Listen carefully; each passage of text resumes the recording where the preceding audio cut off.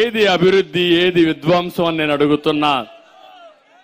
ఈ రోజు కానీ వెలుగొండ ప్రాజెక్టు పూర్తి చేసుంటే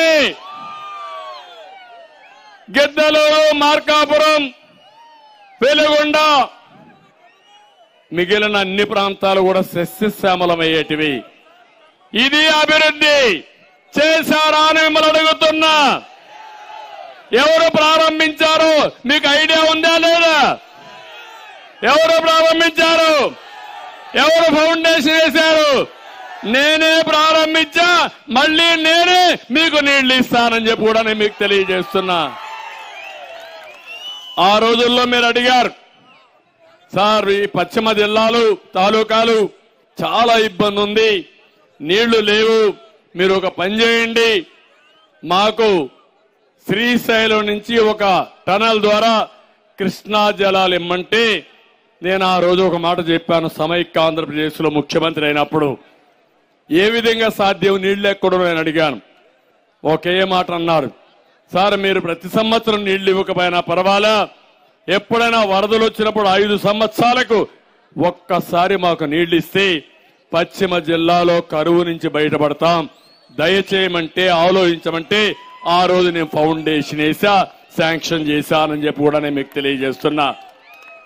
తర్వాత వచ్చిన ప్రభుత్వాలు నామమాత్రంగా పనిచేస్తే కొన్ని కేసులు కోర్టులో పడితే రెండు వేల పద్నాలుగులో నేను ముఖ్యమంత్రి అవుతానే. ప్రత్యేకమైన శ్రద్ధ పెట్టి కోర్టు కేసులన్నీ వికెట్ చేపించి సరిగా పనిచేయడం తీసేసి కొత్త వాళ్ళకి ఇచ్చి పరుగులు పెట్టించాను ఆ ప్రాజెక్ట్ని ఈరోజు ఏమైందని అడుగుతున్నా మళ్ళా నాలుగేళ్ళయింది ఎనభై ఐదు శాతం తొంభై ఐదు శాతం పనులు పూర్తి చేశాను. ఐదు పర్సెంటే మిగిలాయి. అది చెయ్యలేని ఈ ప్రభుత్వం మూడు రాజధానులు కడతాదంట. ఎవరికి చెప్తారు మీరు? అందుకే చెప్తున్నా మళ్ళీ తెలుగుదేశం పార్టీ వస్తుంది. నూటికి వెయ్యి శాతం రెండు వేల ఇరవై నాలుగు కానీ ముందు కానీ వచ్చేది తెలుగుదేశం పార్టీ.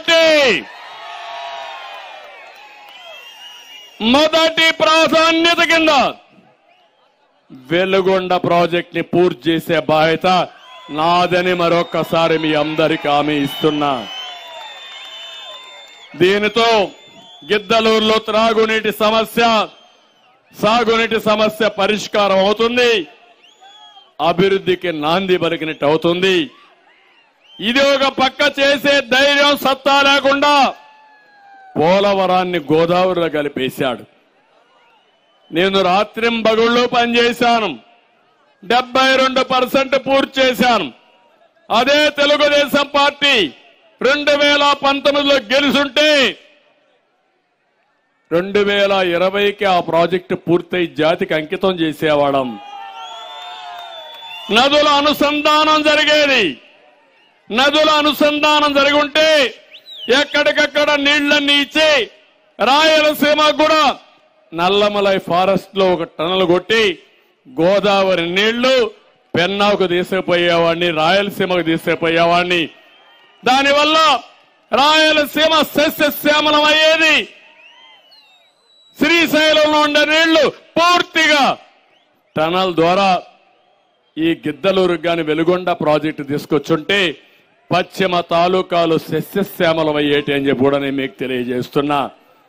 ఎప్పటికైనా మీరు ఆశీర్వదించండి. మళ్ళీ చెప్తున్నా ఈ ప్రాజెక్టులు పూర్తి చేసి ఆంధ్రప్రదేశ్లో ప్రతి ఒక్క ఎకరాకు నీళ్ళు ఇచ్చే బాధ్యత తెలుగుదేశం పార్టీ తీసుకుంటాం. ఇంకొక పక్కన మీరు ఒకసారి చూడండి. పోలవరం పూర్తి అయిపోతే ఈరోజు ఎంతో ఆదాయం వచ్చేది. అలాంటిది రివర్స్ టెండరింగ్ అని రివర్స్ పాలన పెట్టి దాన్ని గోదావరిలో కలిపేసి మళ్ళా ఇప్పుడు టెండర్లు పిలిస్తే అదనంగా రెండు వేల కోట్ల రూపాయలు ఖర్చు అవుతా ఉంది. డయాఫామ్ వాళ్ళు కొట్టుకొని పోయింది. కాఫర్ డ్యాములు పోయినాయి. చేతగాని అసమర్థ ముఖ్యమంత్రి మొత్తం ప్రాజెక్ట్ని తాకట్టు పెట్టే పరిస్థితికి వచ్చారు.